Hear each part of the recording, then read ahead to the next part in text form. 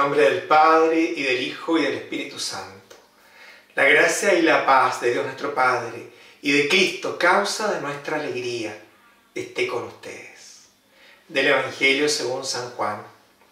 A la hora de pasar de este mundo al Padre, Jesús dijo a sus discípulos, les aseguro que ustedes van a llorar y se van a lamentar. El mundo en cambio se alegrará. Ustedes estarán tristes, pero esa tristeza se convertirá en gozo.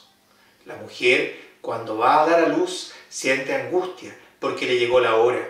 Pero cuando nace el niño, se olvida de su dolor por la alegría que siente al ver que ha venido un hombre al mundo. También ustedes ahora están tristes, pero yo los volveré a ver y tendrán una alegría que nadie les podrá quitar. Aquel día no me harán más preguntas.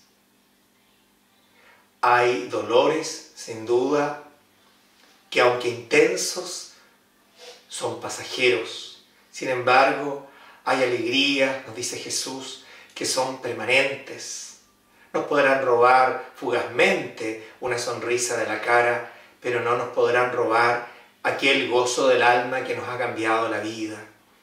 Y sin duda que no hay proporción entre la tristeza inicial y el gozo permanente. Una bella imagen nos regala hoy día Jesús comparando estas situaciones aparentemente difíciles y realmente en realidad difíciles en un comienzo, como son los dolores propios de una mujer que está a punto de dar a luz.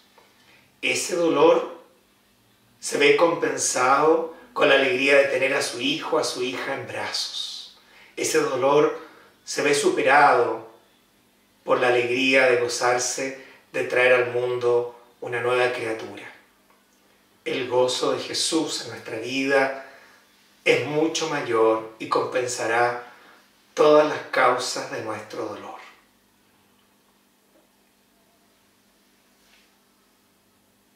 Creo, Jesús mío, que estás real y verdaderamente en el cielo y en el santísimo sacramento del altar.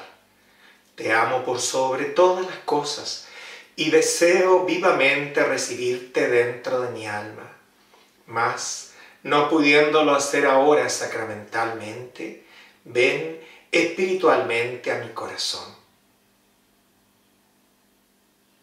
Y como si ya te hubiese recibido, te abrazo y me uno del todo a ti. Señor, no permitas que me separe de ti.